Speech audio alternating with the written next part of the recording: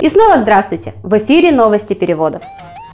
В Бурятии ограниченным тиражом вышел в печать английский перевод героического эпоса «Гессер». Ради привлечения внимания общества к эпосу его перевод выполнила бурятская переводчица и доктор филологических наук на пенсии Елизавета Хундаева. Елизавета переводила Далай-Ламу, встречалась с Индирой Ганди, заведовала кафедрой иностранных языков в Бурятском научном центре. Ее кандидатская и докторская были посвящены Гессеру. На перевод ушло почти полгода. Электронная версия перевода изначально выложена в свободном доступе. Сейчас ее можно купить на Литрес за 320 рублей.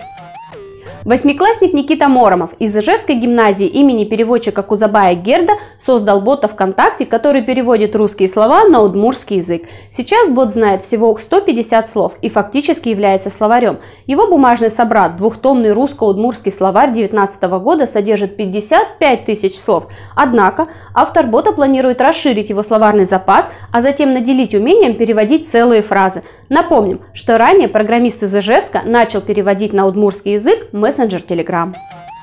В городе Сантепонс, близ Севильи, установят памятник Кассиадоро де Рейна, первому переводчику Библии на испанский язык. По замыслу властей города, скульптура увековечит память о всех переводчиках Библии на испанский. Над созданием трехметрового бронзового переводчика с открытой Библией в руках работал известный испанский скульптор Эстанислао Гарсия Оливарес. Торжественное открытие запланировано на 29 октября, в честь 500-летия со дня рождения Кассиадоро де Рейна. Еще в начале года Министерство национальной безопасности США запланировало создание портативного переводчика для сил береговой охраны.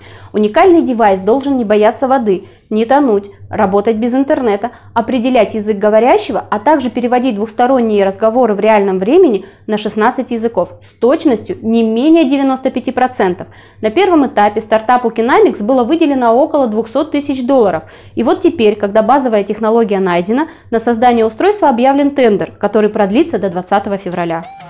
В компанию Техимпут срочно требуется переводчик в сфере топливной энергетики. Взамен на высокие компетенции и солидный переводческий опыт от 6 лет компания гарантирует соискателю работу в стабильном профессиональном коллективе и постоянное взаимодействие с крупнейшими мировыми энергетическими компаниями. Работа в офисе в самом центре Москвы. Оклад от 100 тысяч рублей на руки.